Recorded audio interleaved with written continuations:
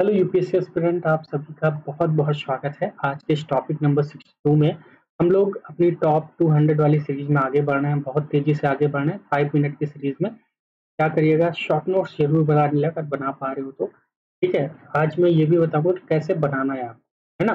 तो क्या करिए आई बटन पर क्लिक करके पूरे प्लेलिस्ट की जानकारी ले सकते हो, उसको देख सकते हो। आज का जो टॉपिक है अमोनिया, ग्रीन अमोनिया काफ़ी इंपॉर्टेंट है क्योंकि ऐसे वर्ड्स को हमेशा यूपीएससी उठाता है कि ये इससे रिलेटेड है ना जो सीओ टू एमिट हो रहा है, कहीं ना कहीं उससे निजात देगा ग्रीन अमोनिया और ग्रीन हाइड्रोजन तो और भारत सरकार भी इससे बहुत ज़्यादा फोकस कर रही है। इसी वजह से काफ़ी इम्पोर्टेंट हो जाता है हमारे देखो, जो अमोनिया है वो एक केमिकल है।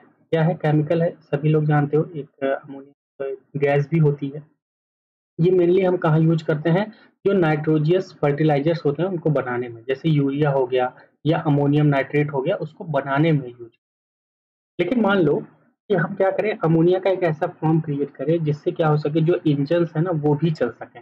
जैसे जानते हो कि जो बहुत सारी ऐसी गैसेज होती हैं, जिससे हमारी कार चलती है, ठीक है? एलपीजी नाम जानते होंगे? लिक्विड पेट्रोलियम गैस इससे क्या होता है, जो हमारी कार है, वो चलती है। तो उसी तरह ग्रीन अमोनिया का यूज़ करके हम इंजन चला सकते हैं। सबसे अच्छी बात क्या है ग्रीन अमोनिया को लेकर कि यह क्या है हंड्रेड परसेंट रिन्यूएबल एनर्जी है कार्बन फ्री है। क्या ग्रीन अमोनिया ठीक है? ये बात है। अब देखो, जो ग्रीन अमोनिया का जो पावर में करने हम लोग कन्वर्ट करेंगे ना, वो कैसे करेंगे? वो उसका प्रोसेस क्या है? तो ध्यान रखना उसका प्रोसेस है हार्बर प्रोसेस हार्बर प्रोसेस ठीक है? इस नाम से इसको जाना जाता है। अब ये काम कैसे करेगा? ठीक है, ध्यान से देखिए, ये काम कैसे करेगा?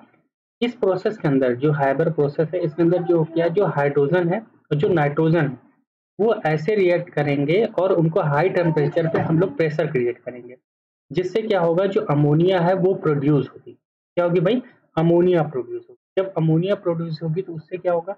वही अमोनिया को हम यूज़ कर पाएँगे अपने इंजन में, जिससे क्या होगा? एक हमें जो रिन्यूएबल एनर्जी है वो मिलेगी। अच्छा रिन्यूएबल एनर्जी हमें और कहाँ कहाँ से मिलती है? आप जानते ही हो जैसे कि जो भी जैसे मैं आपको दिखाऊँ जो भी हाइड्रो इलेक्ट्रिक पावर होते हैं सोलर पावर या विंड टर्बाइन है, वहाँ से हमें रिन्यूएबल एनर्जी मिलती है। उसी तरह ग्रीन अमोनिया से भी हमें क्या मिलेगी? रिन्यूएबल एनर्जी मिलेगी। ठीक है? ये बात ध्यान रखना।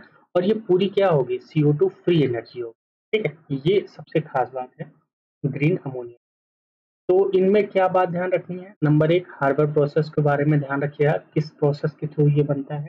और दूसरा हाइड्रोजन एंड नाइट्रोजन को हम क्या करेंगे? एक निश्चित तापमान पे गर्म करके और प्रेशर क्रिएट करेंगे तो वहाँ पे अमोनिया बनती है। यही को हम हैबर प्रोसेस कहते हैं। ठीक है? बस इतनी बात ध्यान रखना। और ग्रीन अमोनिया क्या होता है? ग्रीन लगा है आगे तो ये बात आप समझते हैं ठीक है? बहुत ज़्यादा गवर्नमेंट फोकस कर रही है। एग्ज़ाम में क्वेश्चन बन सकता है।